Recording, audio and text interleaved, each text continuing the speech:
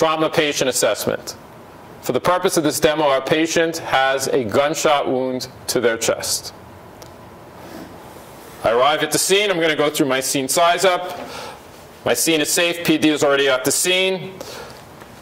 BSI, mechanism of injury is a gunshot wound. Number of patients is one. I'm going to direct my partner to provide inline stabilization of the patient's head and neck as I continue on to the primary assessment. Primary assessment. I'm going to formulate a general impression of my patient. I find a 20-something-year-old male patient, supine, blood soaking through his shirt, and he appears to be unstable. I'm going to determine his level of consciousness. Hey, could you hear me? Could you hear me? Checking for a response to pain. There is no response. I'm feeling for a pulse. One, two, three, four, five. I feel a pulse. He is breathing. I'm going to call for a paramedic backup. His chief complaint is that he's unresponsive. I'm going to direct my partner to open the airway with the jaw thrust. And we're going to manage his airway, open, clear, and maintain. Going to look inside the mouth. I don't see any fluid, so I'm not going to suction. I'm going to measure and insert an OPA. He tolerates that. Breathing. Expose his chest by removing his outer clothing. I see a gunshot wound toward the left side of his chest. I'm going to palpate. Cross the clavicles, down the sternum, out to the side, and hold my hand here. And I observe that there is equal expansion of the chest. The ribs are intact. I'm going to take my stethoscope and I'm going to auscultate. Mid-axillary.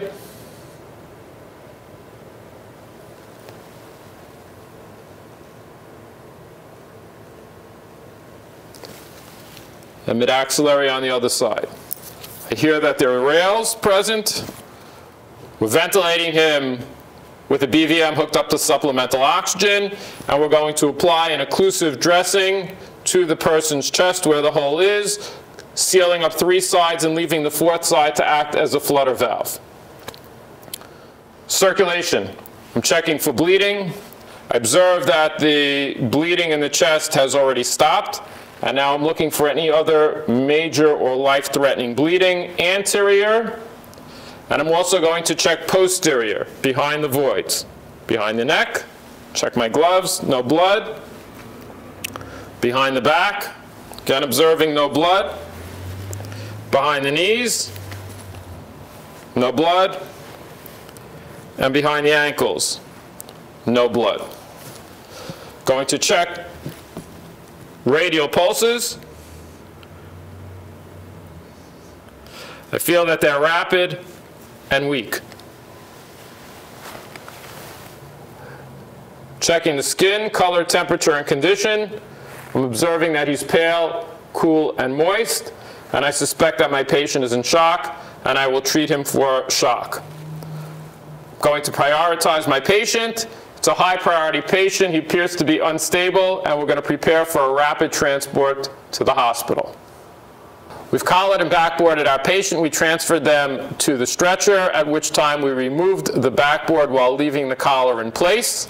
We're now going to check the person's vital signs, going to feel for a pulse, measuring it for 30 seconds. For the purposes of this demo, the patient's pulse is 110 and weak. Going to measure respirations, rate, rhythm, and quality. Measuring it for 30 seconds, multiplying it by 2 if regular. In the event that it's irregular, I'm measuring it for the entire minute. For the purposes of this demo, he's being ventilated at a rate of 12 breaths per minute, and his underlying rate is 8 breaths per minute. Going to measure the person's blood pressure, by auscultation.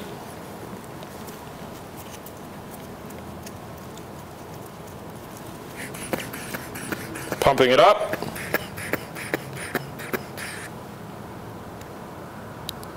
Watching the gauge.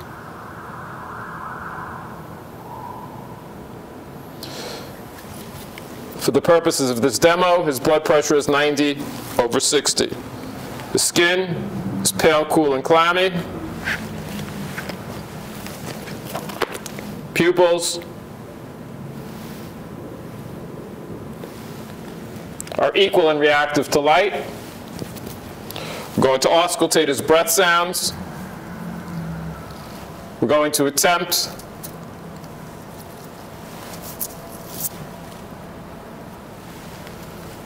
to auscultate upper and lower, anterior and posterior.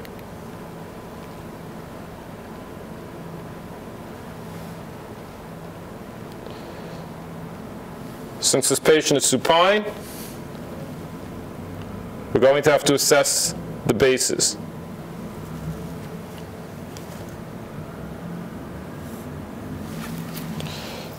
And for the purposes of this demo, the patient still has rales. History of the present illness. Patient is unable to communicate. I'm going to try to find out from PD the distance and the caliber of the bullet. Sample history, I'm observing for any medical alert bracelets. I don't see any. We could also find out from PD if there's any evidence of drug use or alcohol.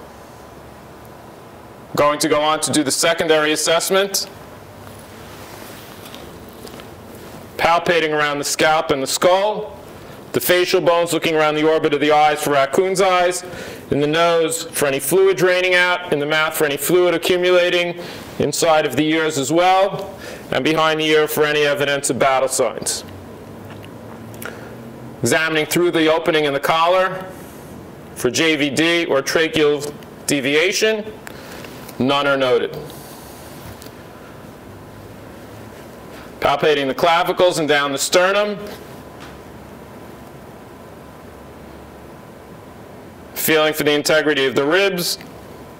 The ribs are intact. Auscultating.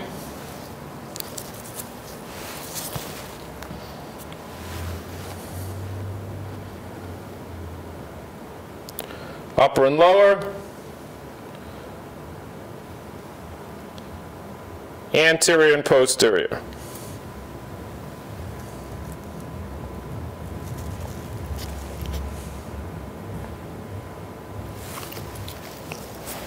Rales are noted.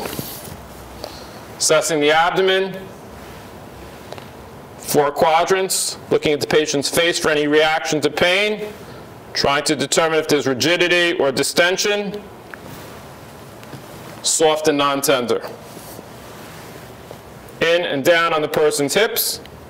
No unusual movement noted. Observing at the genitalia for any discharge or in a male patient for any priapism. Coming down, doing the legs together for symmetry, each one more in depth. Checking distal pulses, movement and sensation, or reflexes in the feet. Come back up and do the arms. Together. For symmetry, each one more in depth, pulses, and movement and sensation. We are now going to perform the reassessment of our patient. Based on the patient's condition, we're going to reassess him at least every five minutes. And we're going to repeat the primary assessment, which is the mental state and the ABCs. We're going to repeat the vital signs. We're going to look, for, look at his injuries, and we're going to check our interventions to make sure that the treatment is still appropriate.